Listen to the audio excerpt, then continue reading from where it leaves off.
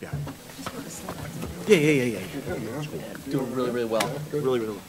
Uh, well, it's it's it's great to see you guys here for our um, for continuation of our IEL Fellow Speakers series. You know, one of the things that we've um, tried to do this year uh, is to uh, uh, revamp our programming um, by making sure that you guys get some exposure to some of the issues that are uh, happening uh, in the United States and in the world, and by bringing some of the world's uh, foremost experts on um, issues of trade, uh, finance, the monetary affairs, the economy here to Georgetown, and this is part of that. And we have really um, some of the uh, great experts both in trade as well as um, you know, a, a, real treat to have uh, one of the technocrats who are gauging uh, sentiment in the United States as well, uh, particularly as we go into full swing in a political uh, season. In case you haven't noticed, there is a presidential election. Uh, there is an election which has itself an interesting uh, departures and in political stances from different folks, um, particularly in both of the Democratic and Republican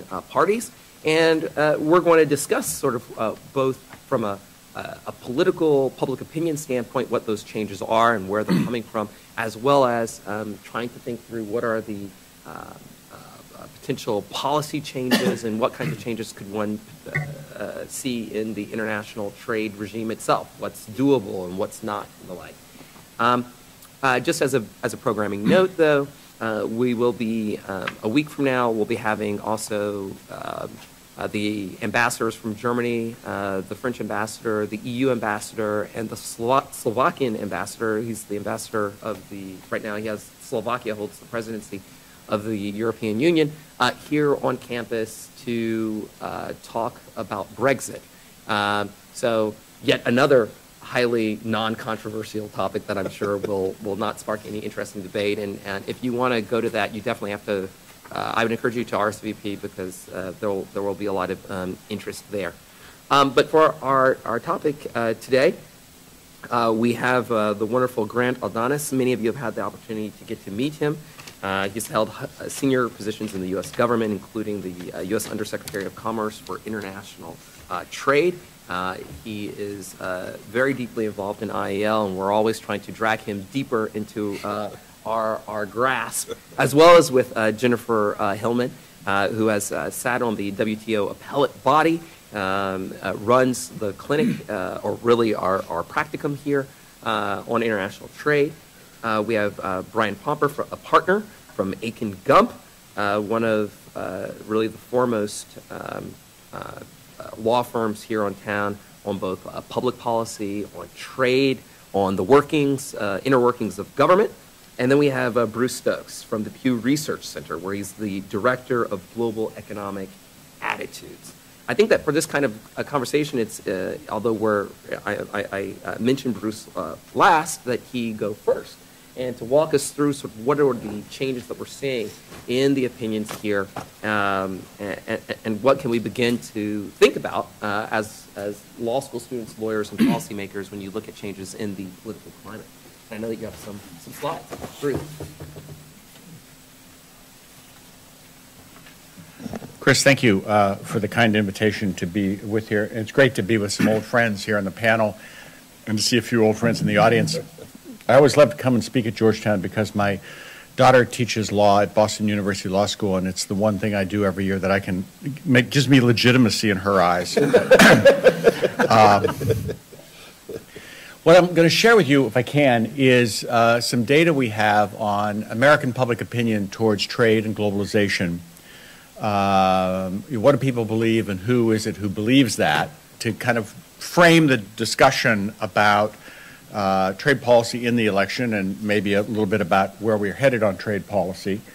Uh, just briefly, the Pew Research Center, we're a nonprofit, nonpartisan, non advocacy group we have this strange uh, funding priority uh, from our funder, the Pew Charitable Trust, that, which is that they believe that good public policy flows from good information, which I think is a very quaint idea in this uh, political election.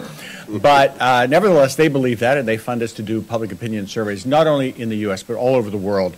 All of this material is available on the web. All of it's free, but most importantly, it's searchable. So if you ever wanted to know, gee, what do the people in India think about foreign direct investment, particularly greenfield foreign direct? We've asked those questions. So there's a lot of material uh, available on the web. I uh, heartily recommend it. Um, for those of you who care about trade, and I guess you wouldn't be here if you didn't, um, uh, I have to break it to you, um, and I don't know how to break it to you, but the American people really don't care about trade. They have an opinion about trade. If you ask them a direct question, they'll give you a very strong opinion, and we'll share that with you in a minute. But relative to other issues in their lives, trade is every year. Every year in January, we ask the public, what are the top uh, priorities for the President and the Congress this year? And frankly, it goes back way before 2007. And every year, trade is either the least important issue or the second least important issue. Uh, uh, and some years, the only issue that's less important is climate change. So again, you got to understand, relatively speaking, it's not that people don't have views, and if you push those buttons, and certainly this election season, people have been pushing those buttons, people have views, but relative to things like the budget deficit or strengthening the economy or dealing with terrorism, this is not an important issue for the, for the public. Um, we asked people uh, this year uh, which statement comes closer to your view about U.S. involvement in the global economy. It's a bad thing because it lowers wages and costs jobs, or it's a good thing because it provides new market opportunities. As you can see, people tend to believe it's a bad thing because it causes job loss and lowers wages. Be very aware when you're working with public opinion. Look at the question. First, you should ask yourself, is the question balanced? This is our attempt to make this a balanced question. We gave people a view of here's a cost, but here's a benefit. I can tell you if you ask a principled question, which we also have done, do you think that trade's good for the country? Full stop. No cost, no benefit. About two thirds of the public says yes. Uh, so we, uh, we've all drunk the Kool-Aid. We all believe in the theory that this is good. We just aren't so sure once you begin to point out there's a cost and a benefit whether we, we support it.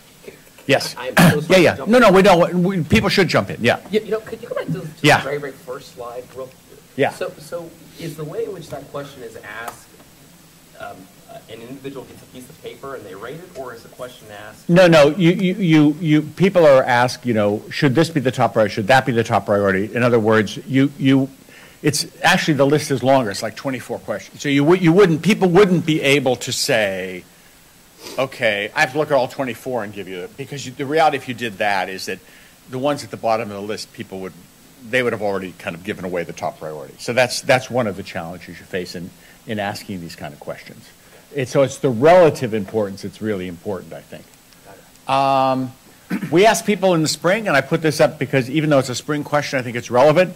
We asked people, uh, we looked at uh, their preference for president. This was uh, late in the primary season, and how they answered this question about whether trade was a, a good thing, a bad thing, or a good thing. Notice that um, basically uh, the Clinton supporters think it's a good thing. The Trump supporters overwhelmingly thought it was a bad thing. And Bernie Sanders supporters were divided. And I can tell you, this goes back to the, the first slide.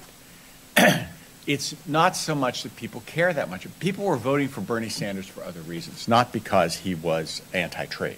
Uh, he was anti-Wall Street, or he was curmudgeonly, or he was a democratic socialist, or I don't know why they were voting for him.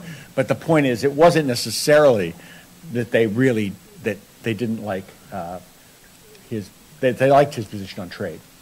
Um, we ask another question of the public, and that is, are free trade agreements good for the country? Because then you're asking them about an action by your government, not just that we're kind of engaged in the global marketplace and this is driven by business or whatever, but do, what about those deals where your government actually opens borders?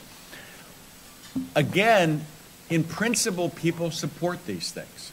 Half the public says it's a good for the country. Now, it's down from 59% only two years ago, so you know, things are not going in the right direction if you believe in trade. Um, my guess is, again, One of the limitations of survey research is you don't know why the respondent gave you the, the question, the answer they did. They probably don't know because they don't lie awake nights thinking, well, if somebody calls me up on the phone, you know, it's going to be dinner time, but what should I say if they ask me this? No, they, you, you get an emotional response. And it may be because trade has, for the first time in my adult lifetime, been a major issue going into the, the general election. Uh, all of us were around when Japan was a big issue in some primaries back in the 80s, but it died as a general election issue. Uh, finally, our issue is a big issue. Uh, so be careful what you wish for. But I must say, for years I wanted my issue to be the number one issue in the election because, hey, that was my issue. Well, now we got that. But anyway, the, so maybe just because people are pounding on the issue that, that public support has gone down and public concern has gone up. Who is it who thinks trade agreements are good for the country? It is young people, minorities, and um, women. Uh, stop and think about it for a minute why might young people, minorities, and women think trade agreements are good for the country? I would suggest it that two, it's because of the opposite. Who's against it? Mm-hmm. White, old white men like me. Who demographically in our country arguably have suffered to the extent that po- parts of the population have suffered from globalization? Who has suffered? It is old white men who had manufacturing jobs who believed, you know, the two thirds of my high school graduating class that didn't go to college because it made total rational sense to go to work in the local steel mill because their fathers could provide for their family with a steel mill income. That didn't work out for them. Those jobs went away or they aren't paying as well as they used to. So old white men are now, frankly, pissed off. Uh, they think trade agreements are bad for the country because they were bad for them. Notice that young white men believe that trade agreements are good for the country. Again, why is it young white men, minorities, women, and young people in general who believe that trade's good for the country? I submit to you it's because minorities, women, and young people never had manufacturing jobs to lose. Yeah.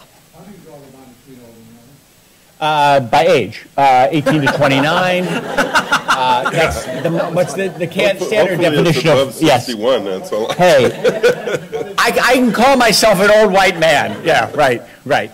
But in this case, it would be. I mean, all white men over the age of 50 are anti-trade. Yeah. No, I, frankly, I think old white men are over 65. That would still be me. But anyway, but the point being that That'd be really old white. yeah, old, really old white men. Uh, you know, and frankly, I'm not sure this problem gets solved.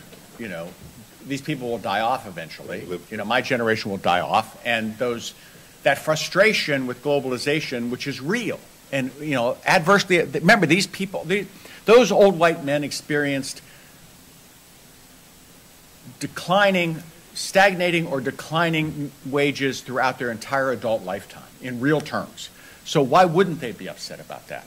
Um, but young people who never had those jobs to lose see it differently. Plus, young people, I would argue, you, you guys are of that age, you can tell me, you came of age and began to form your worldview at a time when globalization was a fact of life.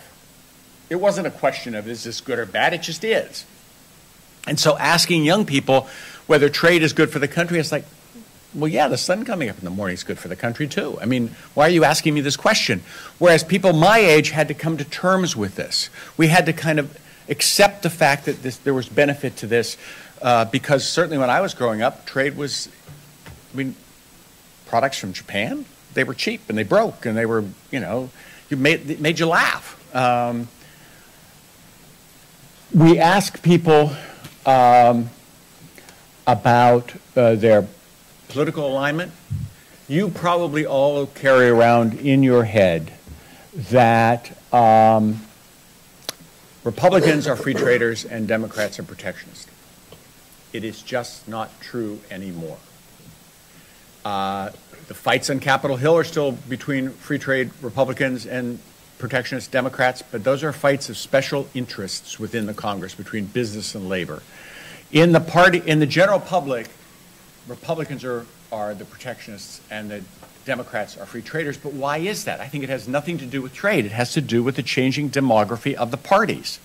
The Democratic Party is increasingly a party of young people and minorities and women, and the De- Republican Party is increasingly a party of old white men. And they bring their beliefs with them to their political identification. It, their political identification doesn't affect their beliefs. So I, I think this is actually not surprising. Um, if you ask people about free trade agreements and you split it, this is a more recent survey just between Clinton and Trump supporters. Clinton supporters support trade, uh, trade, trade agreements. Uh, uh, Trump supporters oppose them uh, by pretty strong margins. Again, it has to do with who supports Clinton and Trump. It's more of a commentary, I think, on that. Yeah. Hey, Bruce, a question Yeah. for you. I, I have no doubt. Yeah. What you're saying is true, that, you know, Yeah. white, white men have lost out manufacturing jobs. It just strikes me there's something else that the, you know, women, minorities, young people have in common is that they're not part of the existing power structure. And I've always Oh, thought that, point. That's a good uh, yeah.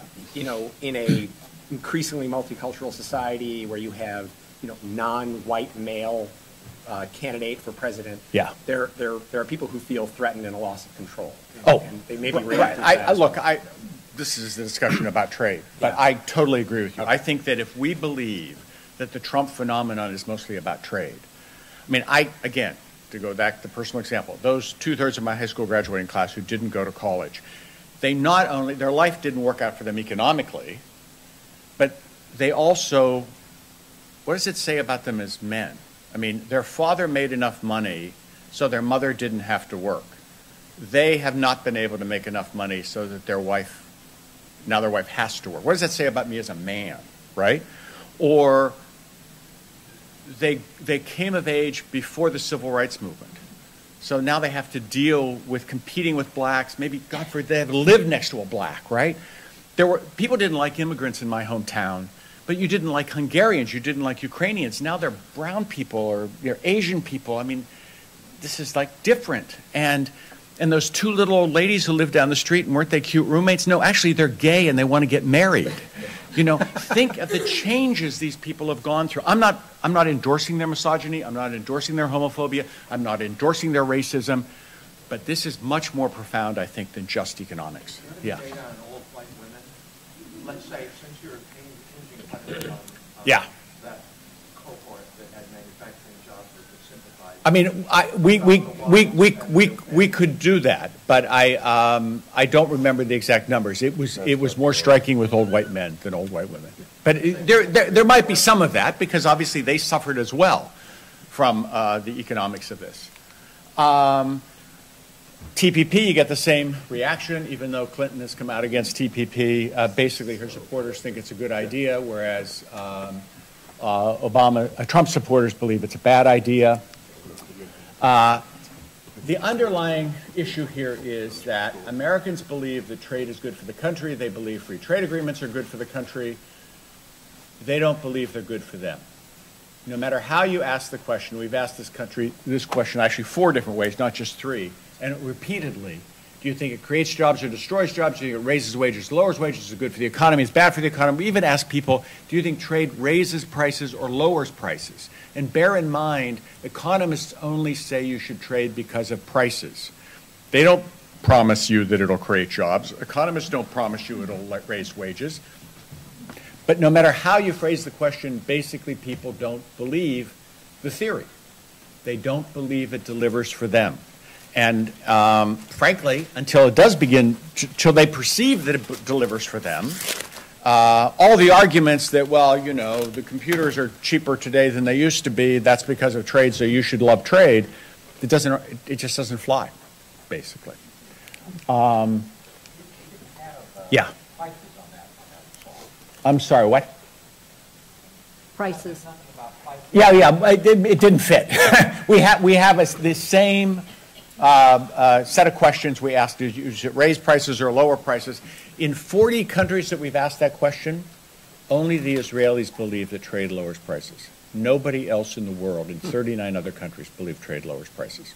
So, um, again, um, as a trade economist said to me when I explained this to him, he said, well, I guess we'll just have to explain it to them again. And my response was, talking louder and talking slower is not going to do it, right? People are telling us something here, and we better be sensitive to that. We better, you know, understand that they don't see it. Um, finally, just on trade, because so much of the trade stuff is about, yeah, go ahead. I just wanted to Yeah, ask you about, uh, I guess, prices, accounting's called consumer surplus. you know, Yeah. And that, that younger people, the younger cohort is at an acquisitive state, you know. with Yeah, yeah. Their demographic for consumption. Right. So, you know, they're seeing or caring about the great panoply of goods from all over the Sure. place and probably they do know about pricing. Yeah. And, and whereas an older group would be less sensitive. I mean, that's a good, I, I, I, I don't recall, I don't know that if we've, we've tried to break it down by generation. It would be interesting to look and see whether young people were more likely to say that trade lowers prices uh, rather than older people. I, I, that's a good question, yeah. Yeah, honestly, I don't think you should overthink it. You know, my experience politically was always that um, trying to explain comparative advantage is like trying to explain the infield fly rule. You know, I mean, it's like nobody actually understands it. You know, it rarely comes up in conversation, but some people feel obliged, like me, to actually try and read about it, right? In fact, when you're actually talking to somebody young or old, it's much easier to pull out your iPhone and say, Donald Trump says he wants to slap a 35% tariff on this. Do you know that its content is 65% U.S., another 30% Japanese, South Korean, Taiwanese, 5 to 8% being Chinese? Do you think that's a good idea, right? You know, it's things like that that actually are Stuck with the Samsung tangible. 7. Yeah, Yeah, right. yeah, yeah, And you can get a recall and a rebid. yeah, yeah, but yeah, it's, yeah. it's things like that. I, I just the idea that economists, which sadly in my own experience have in some respects not helped us, because there is that instinct to Yes. repeat it yet again, rather than let's just make this very practical. You know, okay, single mom, Walmart, Labor Day, buying school, get sending her kids up to school, buying shoes and clothing.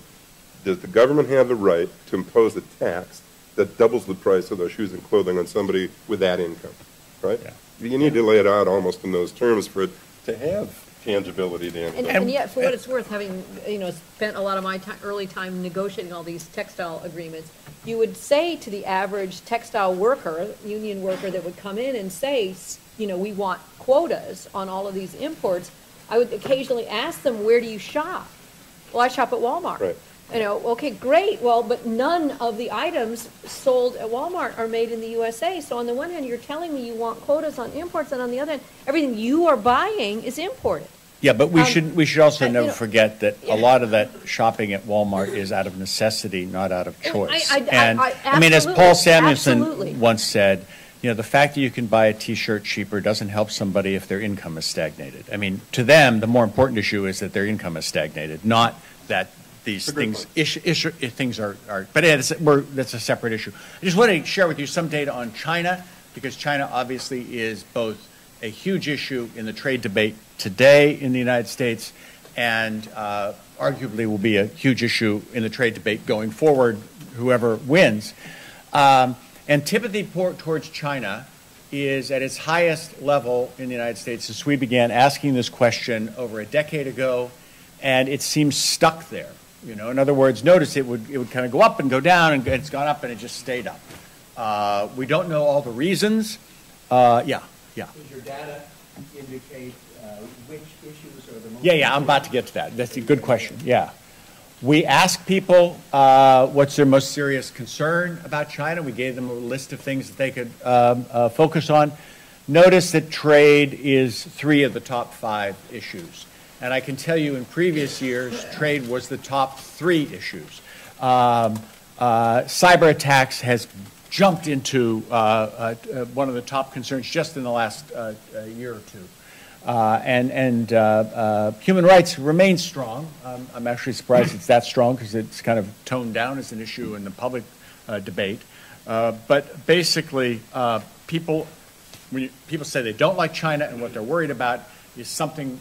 Uh, it's, a trade deficit, or it's they're stealing our jobs, or they hold too much of our debt. Um, and as you can see, uh, Republicans, for the most part, are more concerned about these issues than Democrats. So that's why it resonates uh, when um, Donald Trump attacks China by name on trade. Um, uh, Only really on uh, environmental issues are Democrats more worried than, than Republicans, but that probably means because Democrats are just more worried about environmental issues in general, yeah. I have a question. All these views from uh, Democrats and Republicans are more because they follow Trump's business agenda or because they actually know what they're doing? Um, I, I, I, I would, I would warn you, if, if you presume knowledge on the part of the public, you'll have your heart broken. But I would also warn you that you, wouldn't be here unless you're part of the elite. If you presume that because the public doesn't understand things, we should discount what they feel, I think that we have to remind ourselves that people vote on emotion. They don't vote on reason. Uh, just as they go in the marketplace and they buy a blue car rather than a red car when they're the exact same car except for color. Um, you know, most people operate on emotion. And we as elites who, you know, are too, what is it, left brain oriented and we're, you know, we're too rational, we've got to accept this. And the other thing you'll find is that human beings are infinitely capable of holding mutually contradictory emotions at the same time. So they will tell you two different things. You say, how can this be true? These things contradict each other. Well, that's just what, who they are. And the challenge of leadership is to kind of work with that contradiction. And um, uh, there's a lot of contradictions. Anyway, we, um, I've talked way too long, but we should go on to the, to the discussion session. What do you think? Yeah. I- Yeah. Yeah, I- Dave. I, I, I was going to just raise one potential ob- observation, and, and, and I guess this would be sort of tied to what you saw maybe in, in Brexit, and you could make the, the same argument potentially uh, in the United States. Um, uh, because, I mean, your, your, this was an excellent presentation and extraordinarily counterintuitive, and so I'm trying to think of good explanations for the, for the data. Um, maybe uh, uh, when you look at the demographics of the country and you say, well, you know, the, the younger you go, the browner America becomes. Um, and some of the people who have voiced um, anti-trade policies have also tended to, you know, the, the, the same isolationism or, or, or whichever you want, is also directed against immigrants.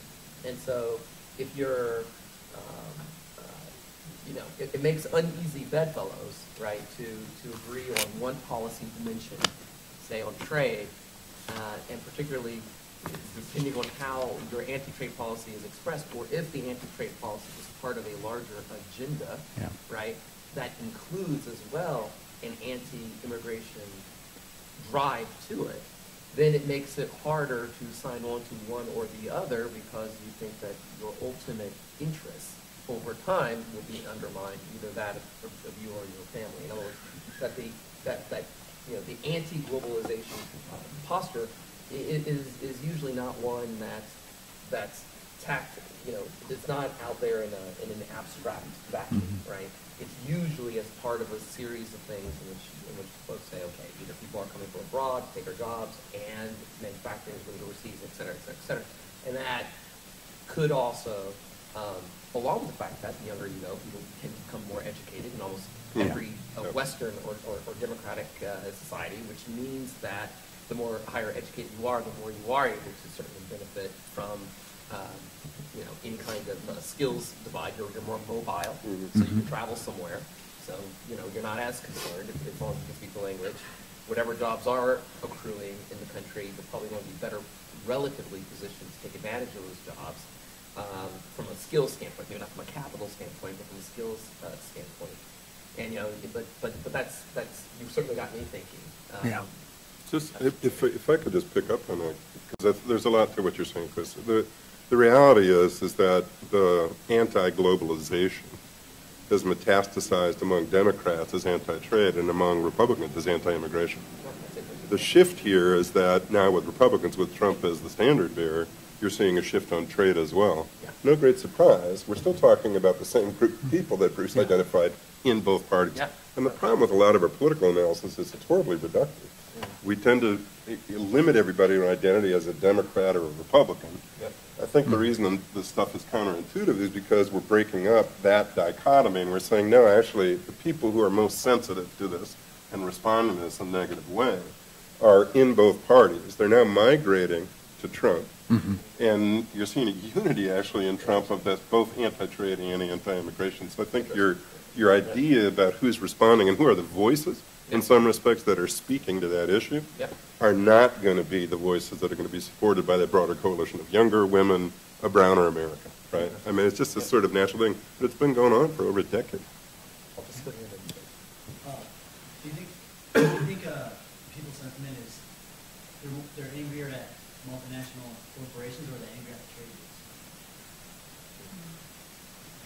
I mean, certainly, uh, our surveys, Gallup surveys show that the respect for big business or business leaders is abysmally low. Um, And, you know, is that because they ship jobs abroad, or they don't, they pay their CEOs too much money, or we as Americans just don't like big things? I mean, I think it's, it's a mishmash of, of, uh, uh, and, you know, it's obviously all tied together. I mean, th- there's this question that Robert Reich asked before the Clinton administration, and it's still the question is, who is us? You know, and, you know, do these corporations have our interests at stake the way we think they did in the past? Now, they didn't probably in the past have that much, but, but, the, but globalization has allowed this, this disconnect between their self-interest and the average American self-interest to, that, to an unprecedented extent. I mean, I like to think of, in my little town, there was a, one bank on the town square, and it was owned by a guy who nobody liked, and he'd walk to work every day, and you could just feel the animosity towards this guy. He was a banker. Who, who likes Right a, who likes a creditor? Exactly. But the point was his self-interest and the town's self-interest was inextricably linked. If the town didn't thrive, his bank wouldn't thrive. He died, the bank was sold to a bank in Pittsburgh. Then the bank was sold to a bank in New York. Then the bank was sold to a bank in London. I think intuitively, the people in that town realize that, yeah, maybe they understand they get slightly lower interest rates because they have access to multinational capital pools now. But they also know that they aren't even a rounding error on this global corporation's, you know, bottom line. So that whether or not that town thrives is irrelevant. Mm-hmm. And that disconnect, I think, is probably also driving some anti-corporate sentiment. I think Dan, it was the great question about data. Um, Pursuing your line, Chris, uh, it'd be nice to know whether the objection among Republicans or anybody uh, to trade in your data tends to, where it coalesces, like if China is a big element, because that raises the thing that technically Donald and Hillary are saying, which is they're not against trade, they just, this is a flawed agreement, or a flawed agreement. In other words, the execution is the flaw. And that gets to your point too, uh, Mr. Grant, about comparative advantage. If comparative advantage doesn't work, what's the point of trade? You know, it, it can be penciled out. You can, and, and if it's not negotiated properly, you do not have that comparative advantage gained. And so it may be as politics lost in the debate, but the politicians technically are saying it's flawed agreements, it's flawed terms that are the issue, not really trade in general. And, and some data would show that. Uh, and, and, and that may be why an older cohort rejects more than a younger cohort, because they, they bought into the Washington consensus that arguably, they will argue, has not delivered. Yeah. No, I, I, look, I think at the end of the day, I mean, people in principle think trade's good, they just don't think trade agreements are as good, and then they don't think they deliver uh, what they're promised they're going to deliver. So you're right, I mean, in theory at least, I don't, I, look, the average person doesn't make all those connections in his own, in his head, right? But uh, it probably is why there's an appeal for, you know, I can do this better. You know, I'm a good, I'm a big businessman, and I know how to make deals, and I can do this better.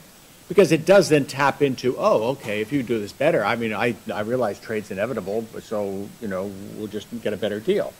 Uh, Now, the average person doesn't know what they even mean by better.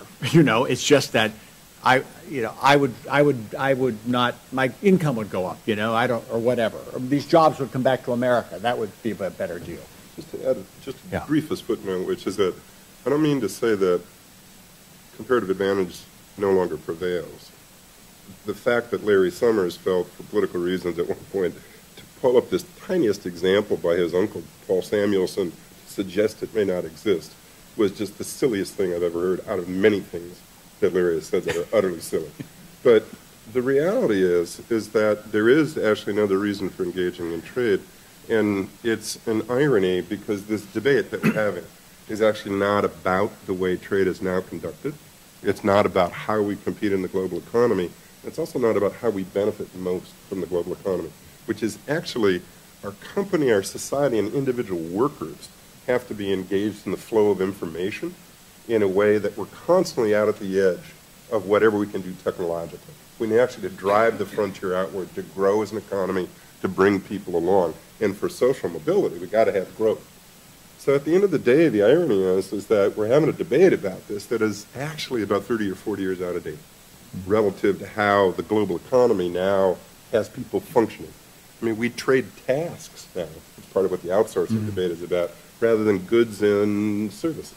And so in that context, on the one hand, comparative advantage applies with greater force than ever in a globalized economy, but also why we trade and why we, and I wouldn't even describe it as trade, why we want to remain ga- engaged in the global economy at this point, and how we might do that is the debate we should have. And I think that's where your question is going down. We're having sort of a, a debate here about a lot of things that are, are relevant politically, but ironically, a lot of what we should be thinking about as people who are engaged in your future as in international economic law is how you make sure that the foundation legally and the institutional underpinnings for the global economy allow that to happen in the face of the politics we're describing right now. Well, it seems like the, the conversation is now getting a little bit more to the law and policy issues. So I, I think um, it's, it's, it'd be maybe useful to get uh, Brian and Jennifer in, involved in, to, to maybe, to the extent to which you, you, you know or can interpret um, either one of the two political uh, candidates, you know, if, if the idea is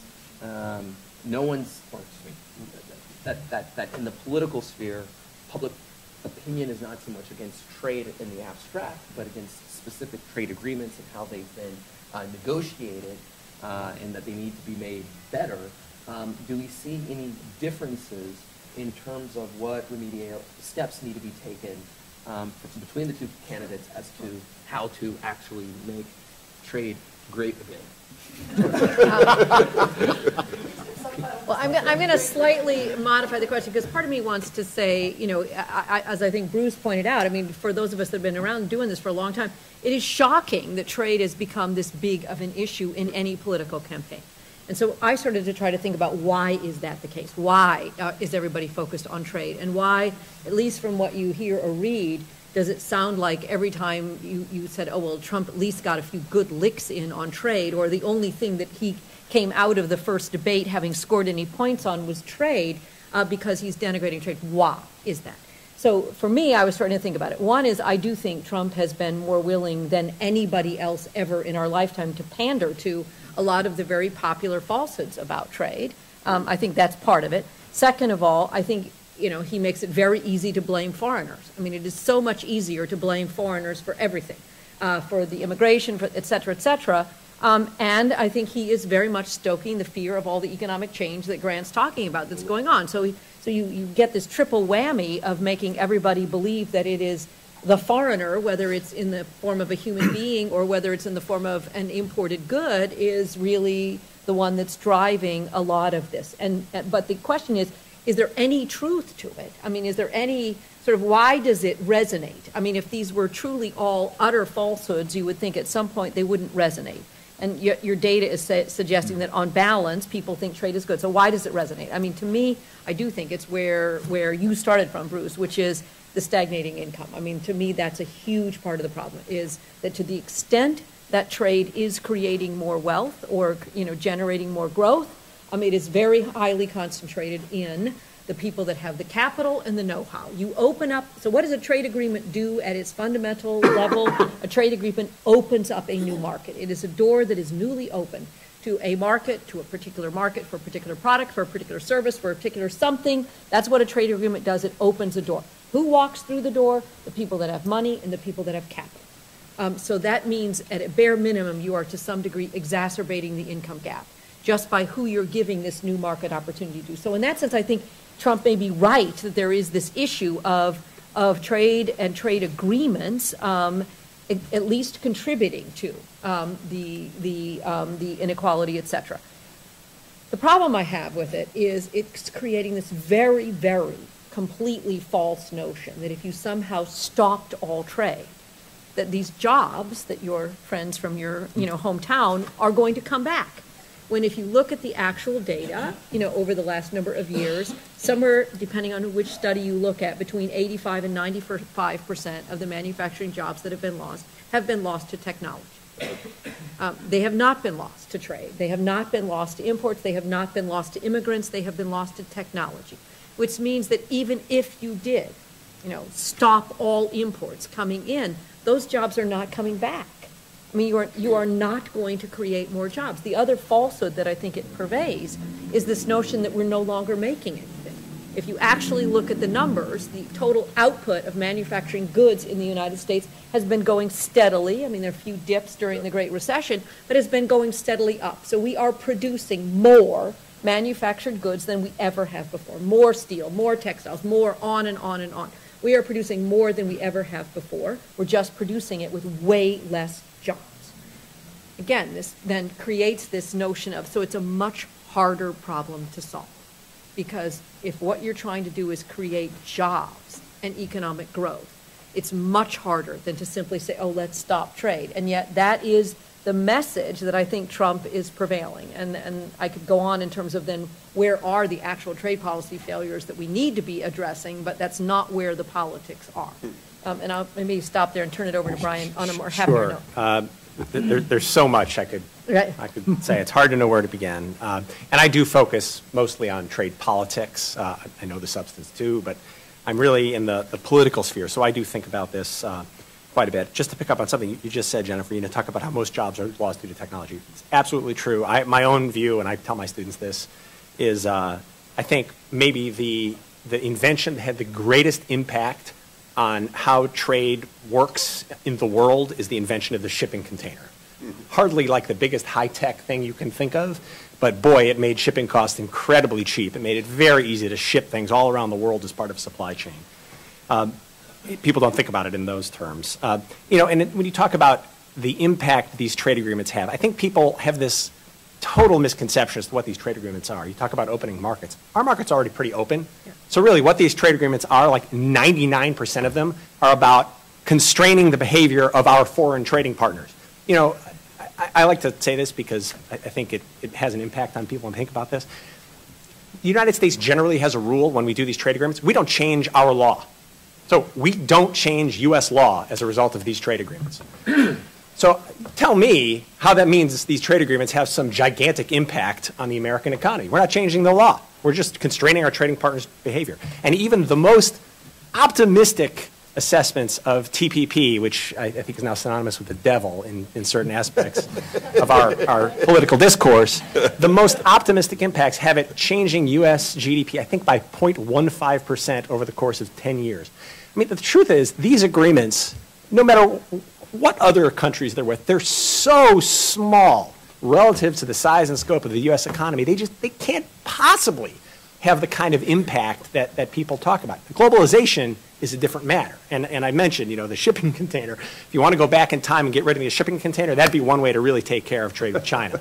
But, you know, we, we, we can't really do that. Uh, I'd say on politics, you know, why is it that we're, we're talking about this? I, think in, certainly in trade politics, but in, in all politics, generally what matters is not overall sentiment. I was taken with that first slide that showed, you had up there, and, uh, you know, there were the two issues that had the least intensity were climate change and trade. And yet, these are two of the things you hear about most frequently in Washington now. And why is that? And it's because the people who care about those issues are incredibly intense Right. about their concerns. Uh, certainly on the climate change side, with the fear of climate change, and the, the anti-trade fear of dislocation, fear of losing your jobs. Those people really care a lot. I mean, that, I don't know if you've done this, uh, this kind of data, but it'd be very interesting to see like how people rated their intensity of feeling when you, you kind of do these. Because I'm, I am confident uh, on the people who really are concerned about trade, they would rate it as a very high uh, concern.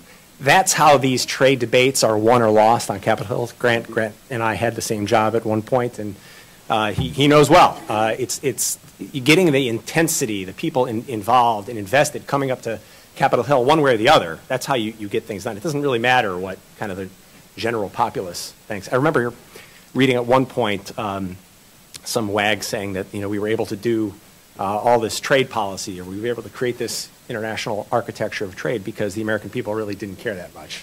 Weren't looking. Yeah, they weren't really looking, so we're, we're, we're able to do it. Um, so uh, I, I find all of this debate just like shocking and, you know, sort of terrifying. And, and to tie it into something else that you mentioned, Bruce, and there was a question on earlier, you know, why is it that it seems like TPP, unique in our experience, honestly, uh, as a regional uh, or bilateral trade agreement, why is it seem to be failing? Because we've never failed before. We've never brought up an agreement and had it fail. Uh, and I, I think part of the reason why is the, the intensity on the anti side has certainly increased uh, as a result of what I think of, Jennifer, you mentioned this, uh, this growing gap between the wealthy and everybody else, which I think, by the way, is corrosive in any democracy. And, and the, the, the resolution to those or the, the cures for that i- is completely beside the point for trade. It's all sorts of other behind the border domestic policies that I really think the next administration is, is really has to address uh, just for the stability of the republic. Uh, but on the pro side, you know, when you had NAFTA, you had a lot of companies coming up and really kicking the crap out of people on the hill. My God, we need this for the future. We need this. We need this. You know, you fast forward 20 years, a lot of those same companies, I mean, it's hard to even think of them as American companies now. They've got jobs in, in offices all over the world. They just as soon source from Thailand as they would here in the United States. So frankly, trade agreements, yeah, good in kind of the broad sweep of my business, but you know, it's not the kind of the be-all, end-all that they, it once was when most of their, their work was here in the States. So Mark, that, those are my be- thoughts. Before we come to your question, just one little footnote to go back and answer yours, Chris, which is that as international lawyers, part of the reason we think about this is that we know that the law is made through interactions of states. That's why we study it, why we're interested in things like that. But the truth is, trade policy and increasingly international economic policy is always about domestic politics.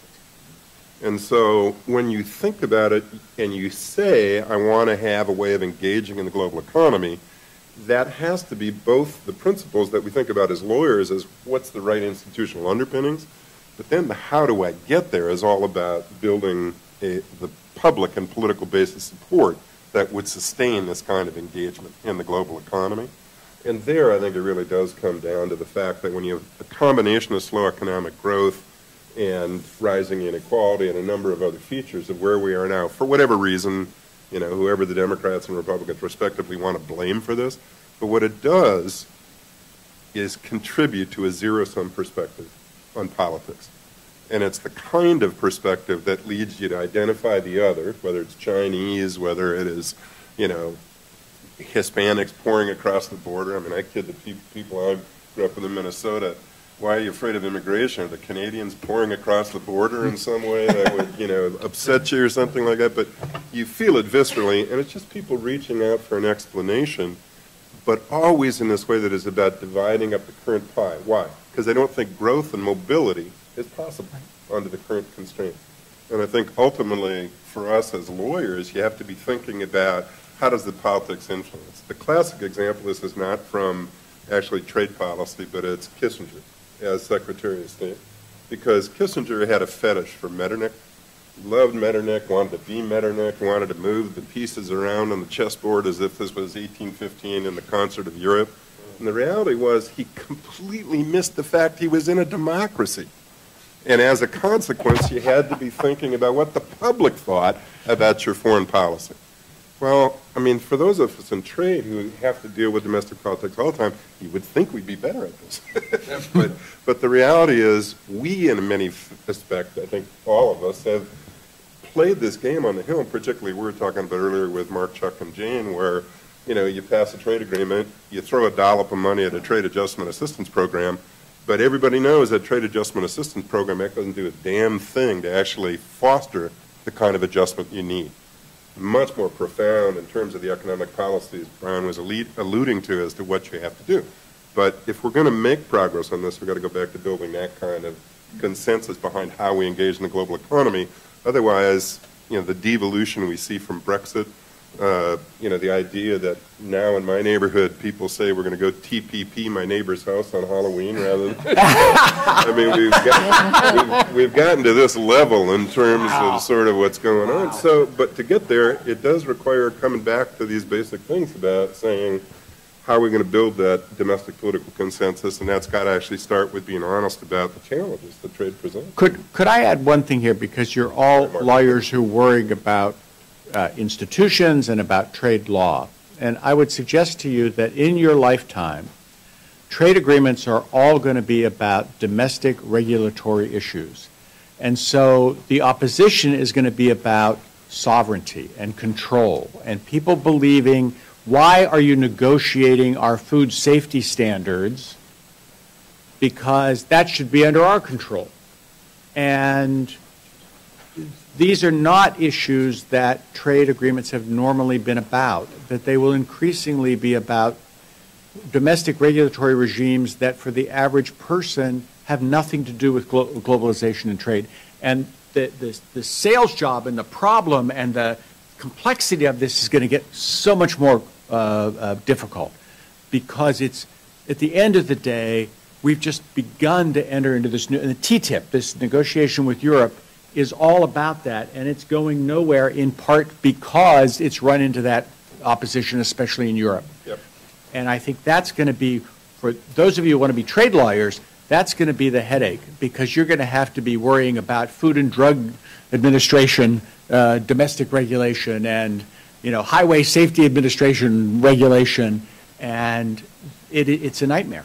And the people you deal with, the people you went to law school and ended up going to the, work for the FDA or for the, the federal, they say, well, what does, what does trade have to do with me? I mean, um, my, my job, my statutory requirement is that I protect the American consumer uh, from unsafe cars. And you say, well, how are you going to do that when most, so many of the cars are now imported or whatever? I mean, that, this is going to be the issue that it's going to be challenging for all of you. Yeah, I think- I think there's an underlying assumption what John and Grant are saying, and that is the assumption is that these agreements are being enforced as rigorously as they could be. I agree. Now, I think you're both former office holders, and maybe you have a bias, maybe you don't, but uh, are they enforced as rigorously as they could be? Something state agencies say. I would, I'd say no. And the reason I say that, and this is not just about the idea of, of Hillary's to, you know, appoint a special prosecutor at USTR, things like that. Uh, but it's things like even the mechanics of how the Customs Service interfaces with the people at the ITC and our patent laws. So, for example, the ITC, when Jennifer was there, issues an order under 337 that says a patent's been violated. Weirdly enough, you have to go through an entirely separate legal procedure at the Customs Service to get that enforced. So when you think about enforcement, Mark, I think there's both that sort of high-end things, are they being vigorously enforced by USTR bringing cases inside the WTO? And then there's this whole other thing about the mechanics of how we, within the government, take a whole of government approach to making sure that our rights aren't impaired. And then specifically with respect to USTR, I got to say I have a very strong bias, and it runs against what most general counsels at USTR would say. The reality is, is that you need to treat this a little bit like Thurgood Marshall when he was at the NAACP. I know this sounds like a weird analogy, but the, the point is, is that Marshall was very careful in selecting his cases to push the envelope slowly and it, to make law, right? And we're now in a system where the bargaining element at the WTO is not functioning, the sort of legislative function in the system trade-wise. And so part of your obligation now at USTR is to say, how do I select a line of cases where I can start to be aggressive? Because the success isn't necessarily winning the case.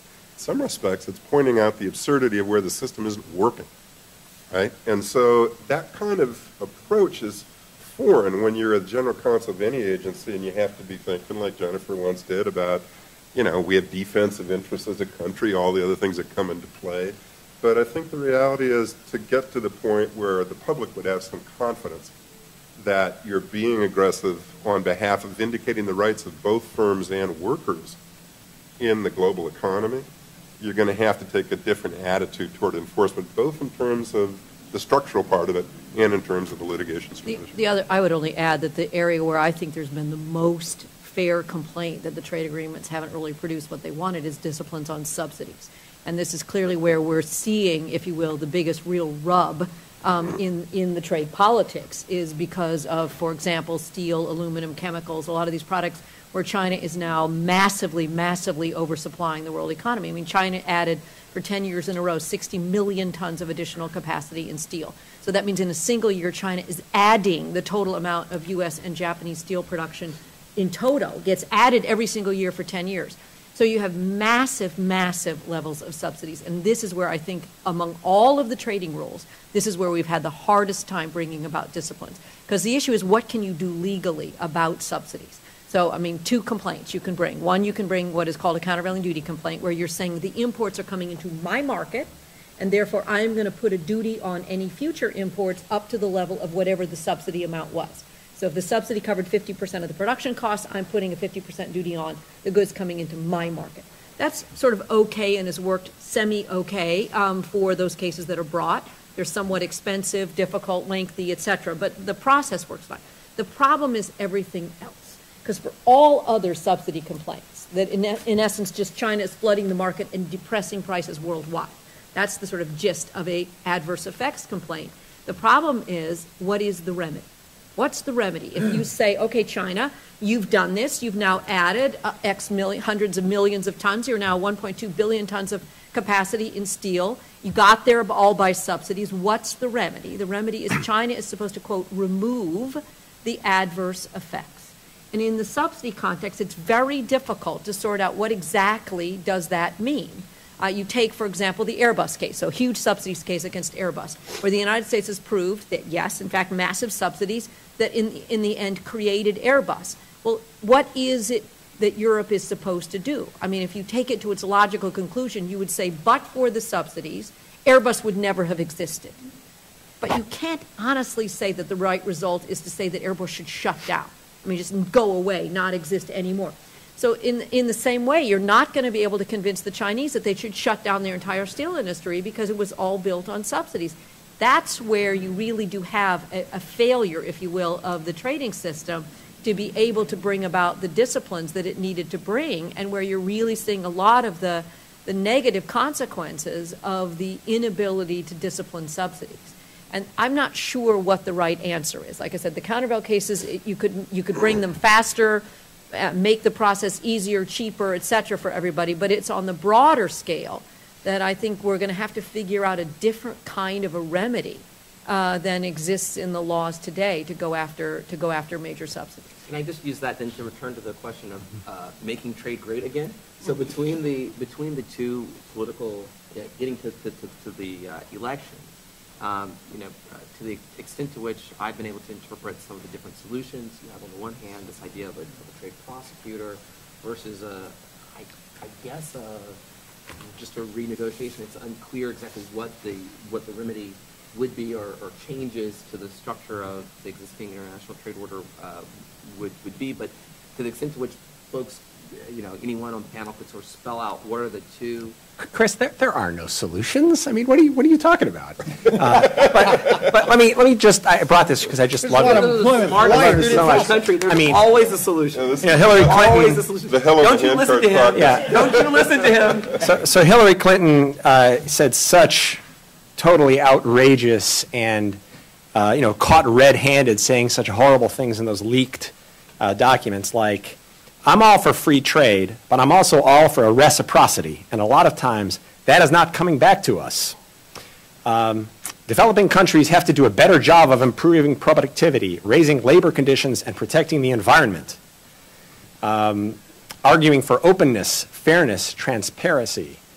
Um, We believe in an open, free, transparent, and fair system with clear rules of the road that benefits everybody, a real competition. I mean, the nerve of this woman, Uh, right? And, and the, Oh, I just, like locker room banter. I, I, exactly. and, and, but let me just read a quote from uh, Peter Navarro, who is a uh, trade advisor to the Trump campaign, a professor, economics professor at the University of California, Irvine. And it, I think it demonstrates the, the subtlety and the, you know, the really data-driven uh, nuance with which the Trump campaign is addressing this. He, in response to what I just read, he says, What rattles around in the globalist brain of Hillary Clinton as she flits from special interest group to special interest group with her money grubbing hands out should scare every American worker worried about losing his or her job to offshoring. So that's the problem, as stated. Uh, what are the solutions? Uh, Look, I think you know Trump is talking about revolution, right? Uh, Clinton is more evolution, right? She's not. It's a perfectly fair criticism to say that the trade policy that we have today is maybe not working for everybody, and it's not just trade policy; it's it's domestic policies that we were talking about. And to your your question about trade enforcement, it's a great question much more complicated, I think, than you'd see at the surface or consider at the surface. Because, I mean, it's not like there are a bunch of trade cases lying around that USTR isn't bringing, right? It's not like they've got some, you know, big sheet in their back pocket that somebody's saying, oh, you can't bring that. What's happening, I think, is that the rules, and Grant, may, this may have come out of a conversation you and I had, uh, but somebody smarter than I, uh, I was having a conversation with, uh, who said, you know, the problem with the trading system now with re- respect to enforcement is that the tools are inadequate because you've got countries, most notably China, but I'd probably throw Russia in there as well, who are, are working in the gaps in those agreements. And we don't really have laws or rules that kind of get at that. You know, we, we don't have a good mechanism to hold China to account for filing an anti-dumping case in retaliation for something that we did over here. Uh, or taking hostages on, you know, when we bring a, a trade case. We, we just don't have good rules for that and it makes it seem like we're just weak and ineffective. Uh, and you know what? We may be because we actually follow the rules. I mean, we have a rule of law system here, and that makes it a lot harder for us to kind of use the bare knuckles approach some of our, our trading partners So, uh, produce. but when you say that, does this mean that the, that the issues in which these folks are, are operating, uh, uh, the gaps, are themselves not subject to clear international rules, like a, like a currency manipulation kind of question? Or is it that the, or is it that the, the, that there are rules, but for whatever reason, the spe- specific conduct by the state actor itself is so ambiguous that, that it, it, it's it's able I, to. I imagine both, truly. Uh, But, but the, the irony is, you know, the WTO system and its dispute settlement, since we have the architect of it here. But, no, no, no, no, no, no, actually, it's, it's a tribute, Jane, because if you think about it, there still is a system that really is based on, because it's international law, contracts between countries. And so the system is designed that way, and it was from the start. It is not just about violations, it's whether you've impaired the contract. And so it does reach conduct that goes beyond the black letter of the law in this context. And so the reality is you have to start revivifying, in one sense, how you go after nullification and impairment. But I want to come back to the question about hope. And the hope here is to recognize that you have a much younger generation, per what Bruce is describing to us, and that the role of lawyers in this process is, in some respects, to cauterize what we think of as a conventional trade debate. It's Mark's point about let's enforce this vigorously, let's do the things that we need to do to keep ourselves engaged in the global economy. Then the rest of it is what I was alluding to, Chris, in our sidebar, which is, you know, the reality of our being capable of engaging in the global economy is going to happen in areas like securities regulation. It's going to happen in tax, Jeff, right? I mean, our ability to get the international provisions of the tax code in a way that actually facilitates the ability of large businesses to engage without the distortions it introduces and the objections it raises, and have small companies be able to participate in our supply chains and go global along with them. So suddenly you start to say to yourself, I should reconceive trade policy rather in terms of tariffs and the things that we normally think about. Think about it, the transaction cost, the pure friction of engaging in a market. Now, what do we do in this context across a broad front to facilitate the ability of both firms and individuals to participate and benefit from it? Now suddenly you start to say to yourself, well, maybe the smartest thing we could do is negotiate a standstill on encroachments on the internet, because that's a vehicle through which a lot of small companies participate not only globally, but are capable of getting into somebody's supply chain. Well, that's not an act of trade policy. It runs directly into the politics we've been talking about here for the last hour. But it is something that's absolutely and fundamentally necessary, and I would submit is something that appeals to that younger generation and is likely to be more supportive. You're already looking past, I'm, I'm one of those, what was, what do we call them, the remarkably old white guys? Is that what it was? Or- Or old. really old white guys, right? Old you white know? guys. So I was at a dinner where a friend of mine lost his stepfather.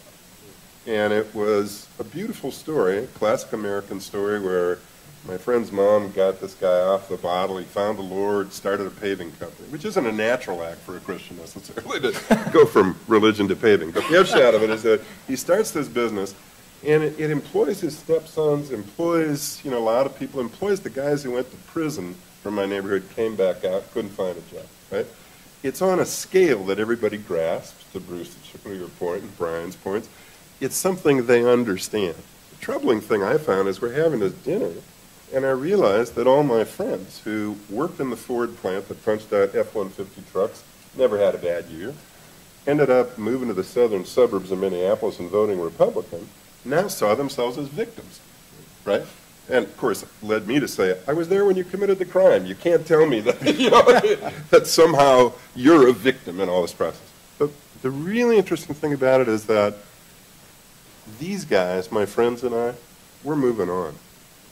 When we think about what this generation has to do, I'm not saying ignore it. I'm saying respond to the needs of the folks that are going to be the productive part of the economy going forward and ensure that there is opportunity there. And that actually is a much harder thing because it involves thinking about areas like securities regulation, like tax, in terms of how we engage in the global economy, which is not the way we conventionally think about it, right? It's not the way we teach it. It's not the way that we think about it as lawyers. But I think that's where we have to go because for th- your generation to succeed, and certainly for my grandchildren's generation to succeed, that has to go on. In some respects, it means cauterizing this debate, the debate we're having about trade, mm. and recognizing it's the rest of the economy that's important, and that has to find a way into the global. If, if I might add here, I mean, it seems to me one of the challenges, let's assume that, I mean, if, if Trump wins, I don't know where the debate goes on any of these issues, but if, if Clinton wins, I know people around Clinton who have finally got religion and they say, oh, we need to do more worker retraining, more apprentice programs, et cetera. And what I've said to them is, look, we need to address the pain and suffering of manufacturing workers because that is part of the populist protest. But what you really need to put in place are programs for the service workers who we can anticipate will face increasing global competition.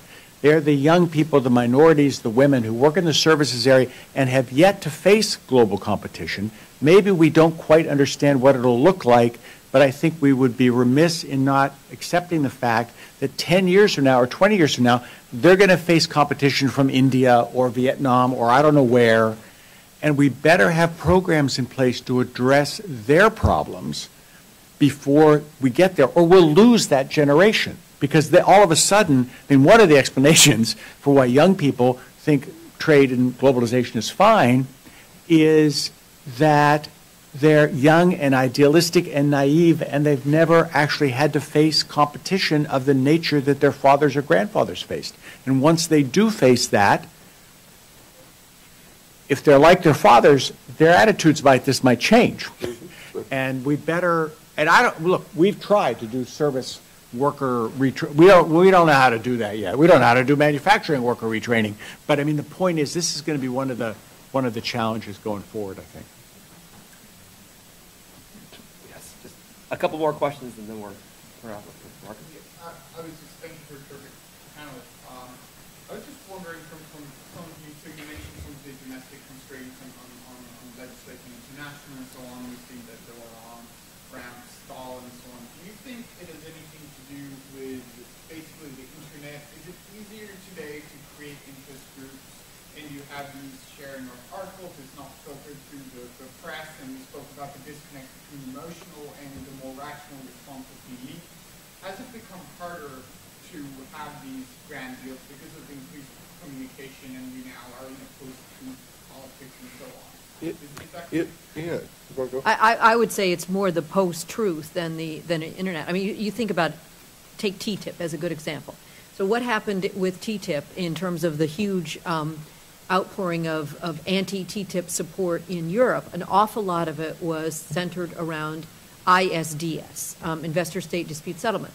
But you think about it, so where was it most heavily concentrated? Most heavily concentrated in Germany. All right, so if you think about it again rationally, all right, Germany is right now in 113 bilateral investment treaties, all of which contain an ISDS mechanism, and I would argue a very rudimentary, non-regulatory friendly ISDS mechanism. So on the one hand, if you don't do TTIP, you leave in place 113 bits in Germany with bad ISDS language. If you do TTIP, you replace the language in those bits with really good, forward-looking, much more pro-regulatory, favorable, better ISDS language.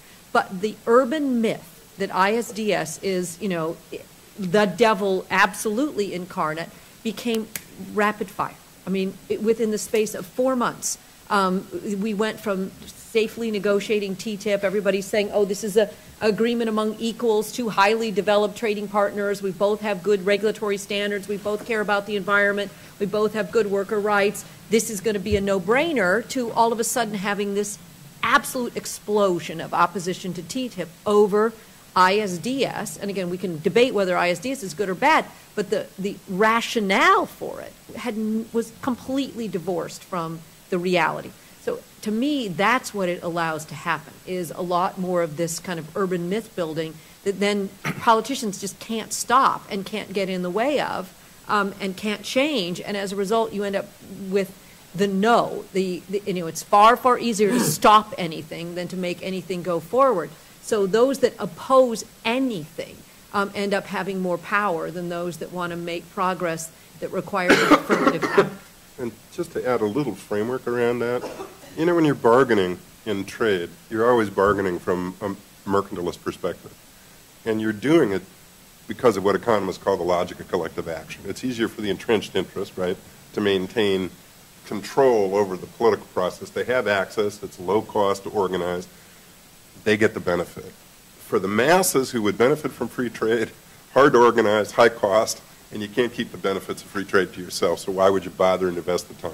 That's the framework. So we negotiate on behalf of export interests to draw another player into that that wants the liberalization to offset the folks that are entrenched and want the protection. Let's think about what does the internet do to that? It drops the cost of organizing. But thus far, all we've learned how to do with that is organize, to Jennifer's No. point, no. No one, if you think about the protests against Scott Walker in Milwaukee, you think about uh, the protest that brought down the Egyptian government, you can do things that have powerful effects, but what they don't do is place something positive in its place. And the real question is, how can you use this force for a positive end? Because we have dropped the cost of organizing dramatically. So suddenly you've changed the logic of collective action in some fundamental ways. It could be a tremendous and powerful gift in terms of liberalization going forward, but the key question is how you, in fact, use it for yes, rather than using it for no. And it's possible. I mean, I can imagine. I mean, you know, the old stereotype was always the, the problem with trade, trying to get trade agreements through is when a single plant closes, 3,000 jobs right there, Right. out. And everybody sees it. That padlock goes on the door, 3,000 people are out of work. That whole town is now anti-trade. And the problem was that the benefits of trade is one job here, one job there, Exactly. one job here, one job there. And even though those jobs might have paid better, been better, et cetera, jobs, there was no way to put those people all together and sort of have them offset the 3,000 that had lost a job. In theory now, you could actually organize all of the disparate folks that are on the winning side of trade, but there isn't really anything around which to organize them. There isn't any, you, you don't, you're not putting them together to say, oh, we should all now be for TPP. I mean, it- it But just you doesn't work that way. But you But could, but you could, it's- Jennifer, you could organize around that single mom shopping at Walmart, right?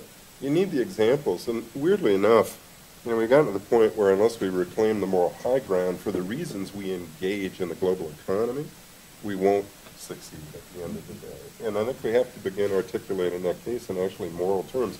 And I think it starts with identifying why Franklin Roosevelt walked down this road, right? You know, what he was trying to do actually was break up a lot of concentrations. Now, one of the reasons he's my hero is he was also sophisticated enough to break up the Ohio political machine that was all Republican at that point. But what he was trying to accomplish was a positive good end for people at the bottom that were being penalized by these concentrations inside the U.S. economy. And I think in some respects, it's, it's really assuming the mantle that Roosevelt described and trying to put it in those moral terms that takes us back. And, and I do think that we should remind ourselves that people in principle, in our surveys, in the Gallup surveys, people in principle believe that globalization is here to stay. They may not like it or this, but they believe it's here to stay, and they believe it's good for the country. It's just they aren't so sure it's good for them. So you have a place to start from. It's not that people say, oh, this is bad in principle. It's just they think it's bad in practice. So there, there's something to work with. I remember, and, and why I think it's going to continue to be a, a salient political issue going forward. A, an old friend of mine named Paul Tully, who's, who's sim, uh, since passed away, but he was a big Democratic political operative.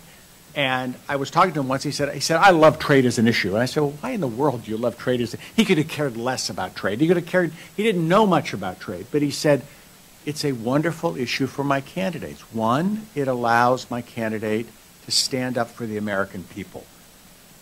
People want their politicians to be tough and to stand up for them, whatever that means to them. They want them to be tough and to stand up for them.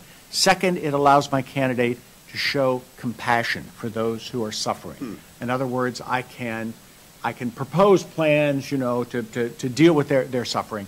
And it also allows my candidate to be forward thinking and forward leaning because the public does know that the future is coming and they want somebody who's thinking about it. And so, in a way, it is a perfect issue for the politician who knows how to use it. Bill Clinton was that politician. Uh, other, I would say, others have not maybe used it in the same uh, effective way that he did. Very famously, for those of you that were not around during the NAFTA campaign, during the, I'm sorry, during the Bill Clinton campaign, he went down to North Carolina, and his famous line that everybody says is, "We will compete, not retreat." Um, and that was, became the sort of mantra of that campaign on what is the U.S.'s approach to trade. We will compete, not re, uh, not, we will compete, not retreat. Um, But we will live to teach another day. Uh, Thank you for such a wonderful and interesting um, conversation. I actually learned quite a bit. Uh, I I assume uh, you guys have as well, but let's thank our panelists. And we hope to see you uh, next week for for breakfast. It's a Pleasure, as always. Seen this? This is Forbes, so- Yeah. but it's sort of this summary of a lot of this in- very interesting research. Oh, I have to, Um, it's on for Forbes. worth.